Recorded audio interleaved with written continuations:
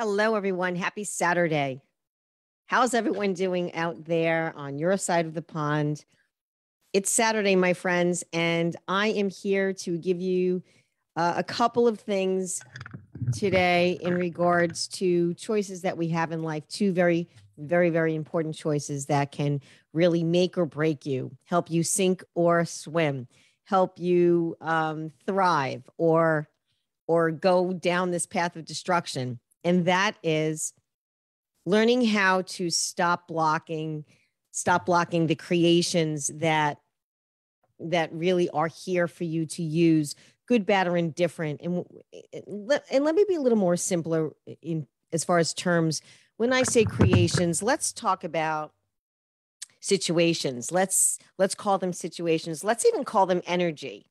Let's call it um good, bad, or indifferent, whatever you see that is going on in your life, I want you to understand that these situations are here to potentially, potentially help you grow and use it as a leverage to get you to a, a different place, if you will. And one of the things that I always talk about, and it's no secret, is that I say it in, in my book, Truth to Triumph. I say that you choose, you have the innate ability to choose the creations that you wish to experience. But what if I told you that you are really just one brush away from changing the painting on the canvas, if you will? You, you have the innate ability to to really create any, anything that you'd like. Really, truly, it's it's up to you, and it's such a hard thing to to to grasp. I know, I get it because life happens, right? And things happen, and all of a sudden, something just kind of plops down on your lap while life seems great, and all of a sudden, wham! You're something disastrous is going on, or or or maybe not even to you personally, but maybe something that's going on in our country, um, maybe something that is a global issue. This, I mean, this is what's going on all the time, right?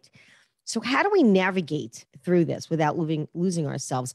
And how do we really use these things uh, to leverage leverage us to get into a, a good, a better space, a better place?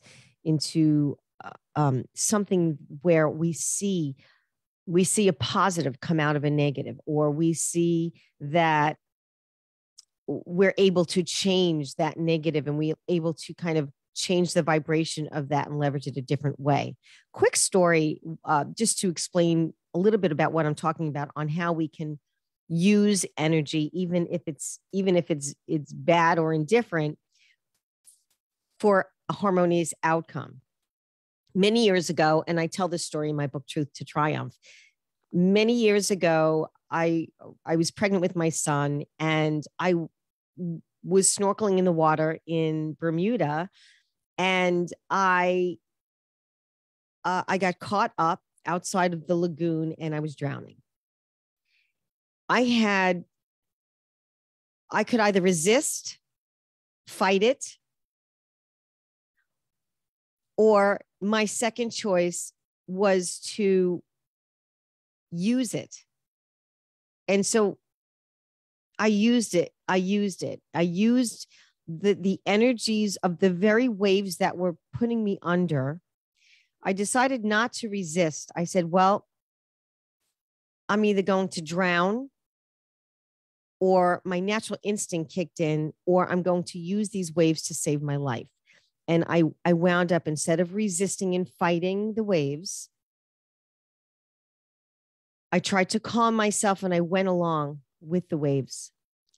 And as the ripples and the waves took me eventually to shore, I didn't wind up in that exact spot where I began, of course. Of course, it took me down to a different shore in Bermuda. But it saved my life and it took me to a different place. And this is what I'm talking about. This is this is no different than what we experience in our everyday situations. And so what I would put to you is that you have two choices. Only two. When it comes to a life situation, when it comes to anything that you judge to be uh, good, bad, indifferent, negative, positive, your two choices are one, destroy yourself, or two, love yourself. You've got to love yourself enough. You've got to love yourself enough, your country enough, your, your humanity enough, your planet enough to care enough and love yourself enough to use a situation and use the energy of it as massive as it is, use it for massive change. Use it for powerful change into a better place. Two choices. What would you choose? I'd like to hear the comments. Would you choose to love yourself or would you choose to destroy yourself? Love you all, my friends. Bye for now.